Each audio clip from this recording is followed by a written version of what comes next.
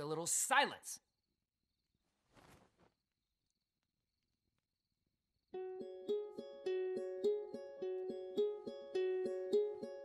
Hello, darkness, my old friend. I've come to talk with you again. Hello. Because a vision softly creeping left its seeds while I